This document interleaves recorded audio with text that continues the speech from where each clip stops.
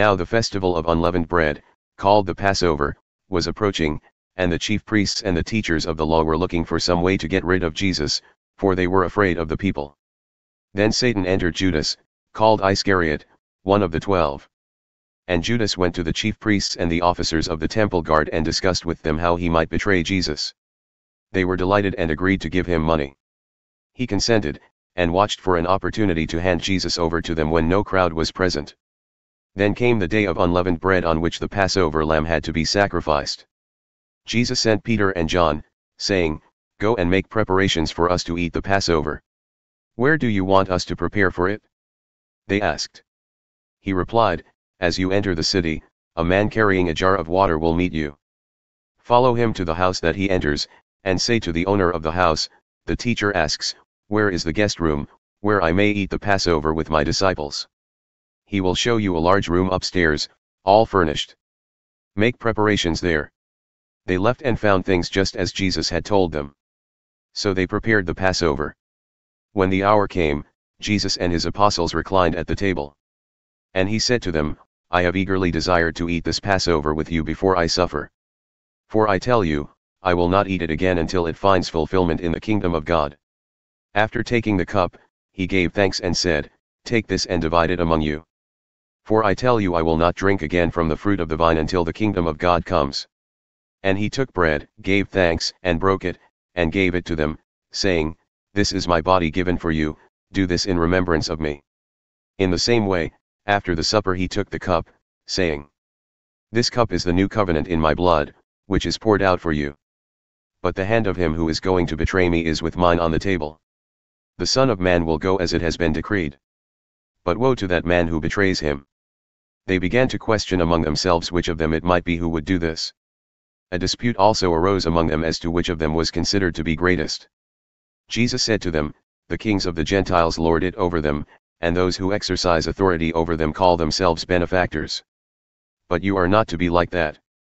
Instead, the greatest among you should be like the youngest, and the one who rules like the one who serves. For who is greater, the one who is at the table or the one who serves? Is it not the one who is at the table? But I am among you as one who serves. You are those who have stood by me in my trials.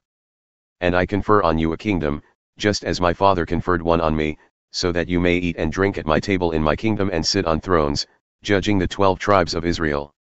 Simon, Simon, Satan has asked to sift all of you as wheat. But I have prayed for you, Simon, that your faith may not fail. And when you have turned back, strengthen your brothers. But he replied, Lord, I am ready to go with you to prison and to death. Jesus answered, I tell you, Peter, before the rooster crows today, you will deny three times that you know me. Then Jesus asked them, When I sent you without purse, bag or sandals, did you lack anything? Nothing, they answered. He said to them, But now if you have a purse, take it, and also a bag, and if you don't have a sword, sell your cloak and buy one. It is written, and he was numbered with the transgressors, and I tell you that this must be fulfilled in me. Yes, what is written about me is reaching its fulfillment. The disciples said, See, Lord, here are two swords. That's enough. He replied.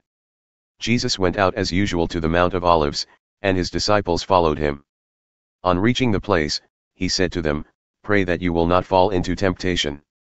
He withdrew about a stone's throw beyond them, knelt down and prayed, Father, if you are willing, take this cup from me, yet not my will.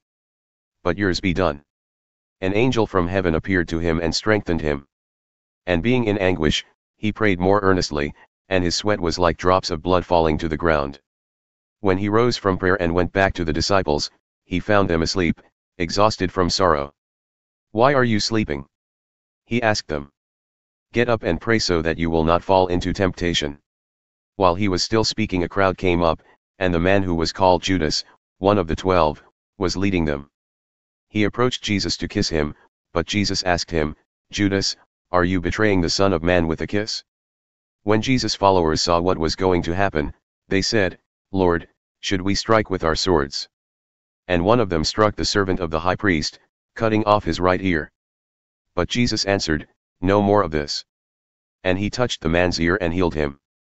Then Jesus said to the chief priests, the officers of the temple guard, and the elders, who had come for him, Am I leading a rebellion, that you have come with swords and clubs? Every day I was with you in the temple courts, and you did not lay a hand on me. But this is your hour, when darkness reigns. Then seizing him, they led him away and took him into the house of the high priest. Peter followed at a distance.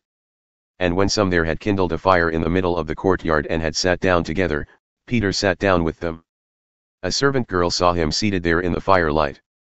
She looked closely at him and said, This man was with him. But he denied it. Woman, I don't know him, he said. A little later someone else saw him and said, You also are one of them. Man, I am not. Peter replied. About an hour later another asserted, Certainly this fellow was with him, for he is a Galilean. Peter replied, Man, I don't know what you're talking about. Just as he was speaking, the rooster crowed. The Lord turned and looked straight at Peter. Then Peter remembered the word the Lord had spoken to him, Before the rooster crows today, you will disown me three times. And he went outside and wept bitterly. The men who were guarding Jesus began mocking and beating him. They blindfolded him and demanded, Prophesy. Who hit you? And they said many other insulting things to him.